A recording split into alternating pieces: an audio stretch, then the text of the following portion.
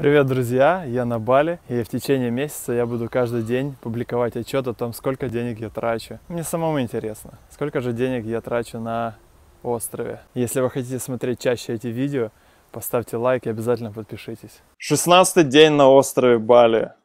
Потратил сегодня 8 долларов. Позавтракал на 44 тысячи, днем выпил кофе и поужинал вечером на 50 тысяч.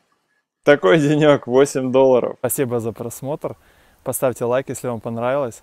И напишите свои комментарии, сколько денег вы тратите у себя дома. Пока.